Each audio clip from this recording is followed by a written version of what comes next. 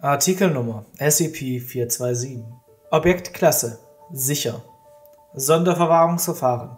SCP-427 zeigt zu diesem Zeitpunkt keine Anzeichen von selbstständiger Bewegung oder böswilligen Absichten und erfordert nur eine minimale Verwahrung. Aufgrund der Nebenwirkungen von SCP-427 darf nur medizinisches Personal der Stufe 3 oder höher Zugang haben oder es verwenden. Alle Mitarbeiter, die SCP-427 verwenden, müssen ihre gesamte Belastungszeit erfassen, um unerwünschte Mutationen zu vermeiden.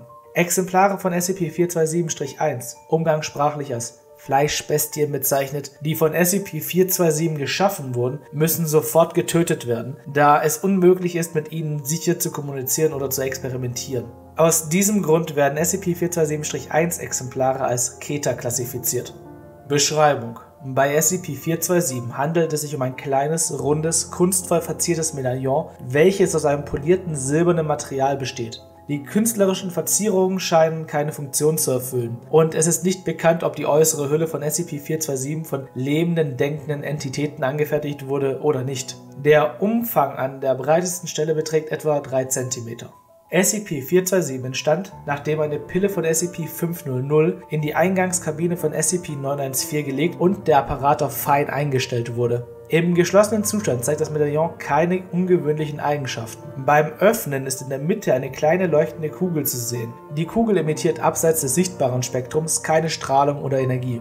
Wird SCP-427 geöffnet und befindet sich biologisches Gewebe in seiner Reichweite, werden Zellschäden regeneriert und es ist auf bisher nicht geklärte Weise in der Lage, eindringende Verbindungen oder Infektionen zu beseitigen. Bei einer regulären Erkältung dauert es drei bis zehn Tage, bis das menschliche Immunsystem die Infektion abgewehrt und entfernt hat. In Anwesenheit des geöffneten SCP-427s reduziert sich diese Zeit auf zwei bis vier Minuten. Der Heilungseffekt ist abhängig von der Position der Öffnung. Alles, was nicht im direkten Sichtfeld zur zentralen Kugel steht, ist nicht betroffen von den Effekten. Es ist jedoch zu beachten, dass eine Langzeitbelastung eine erhebliche Gesundheitsgefährdung darstellt. Während das Medaillon Schäden heilt, optimiert es gleichzeitig die natürlichen Systeme des Körpers. Die Resistenz gegen Krankheiten und Toxine wird im Vergleich zu den anerkannten letalen Dosen um 500% nach 10 Minuten Belastung bzw. um 1000% nach 15 Minuten Belastung gesteigert. Nach 15 Minuten Belastung beginnen die Muskelsysteme mit der Optimierung und erhöhen die Kraft- und Schmerztoleranz um 200 bis 300%. Alle anderen Systeme werden weiterhin optimiert.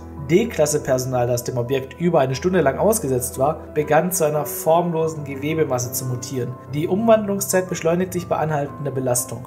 Die so von SCP-427 geschaffenen Fleischbestien, so genannt wegen ihres Aussehens, sind unglaublich aggressiv und greifen jede einzelne Person in Sichtweite an und töten diese. Sie sind sehr widerstandsfähig, gegen die meisten bekannten Waffen, können aber bei ausreichenden Schocktrauma oder Hitze über 1100 Grad Celsius kampfunfähig gemacht werden. Ihre Intelligenz kann nicht genau gemessen werden, aber extrapoliert man die Verbesserung des Gehirns auf Grundlage der anderen Optimierung, kann man davon ausgehen, dass ihre Intelligenz nach vollständiger Transformation höher ist, als bei Menschen möglich wäre.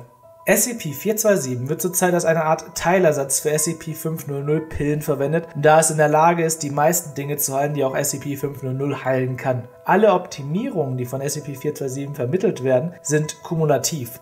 Die Aufsicht hat die Nebenwirkungen als akzeptables Risiko eingestuft, aber die Benutzer müssen ihre gesamte Belastungszeit sorgfältig aufzeichnen, da zu viele Mutationen einen Terminierungsgrund darstellen.